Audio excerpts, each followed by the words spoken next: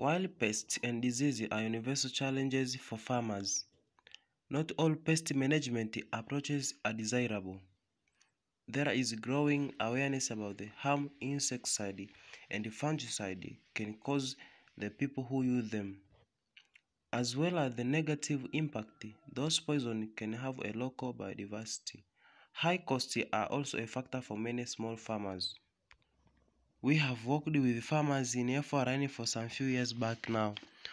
We all looked at botanicals as the alternative to synthetic chemicals. We did some experiments and in the course of learning FRN principles, we gradually come together having similar focusing of looking at botanicals and other options than chemicals as desirable. We made a video on botanicals and on how to make them and we also made another video on experiences of FRN in our projects area. For this year 2021, the needs for alternative solutions to commercial insecticide lead local farmers to experiment with creative methods. This collaborative process began with a series of farmers meetings where the group collectively decided which botanicals and non-botanicals to test during seasons. Demo plots and farmer plots were chosen and all participant farmers agreed to use them method in their plots. In our project area, farmers mainly growing common beans and maize along with bananas, coffee and other vegetables. The biggest pest issue are fall armyworm for maize and for common beans aphids foliage beetle, and anthracnose, a fungal disease.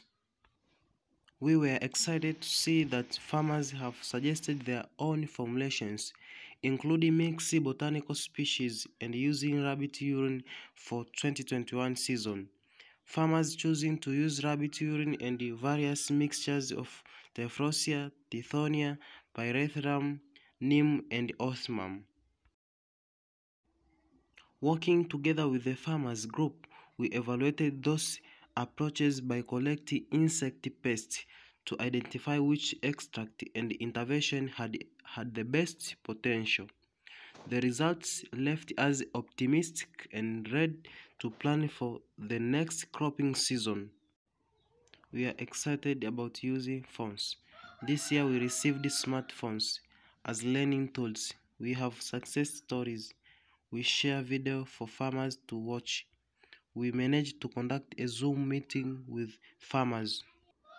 Farmers were able to share information and the picture and the voice. Most trained, inspired farmers made their own video on the use and potentials of botanical. Because of this project, the use of pesticidal plants is now being practiced more in the areas.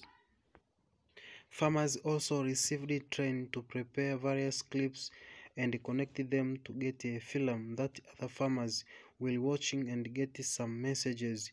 They do this by using KineMaster application.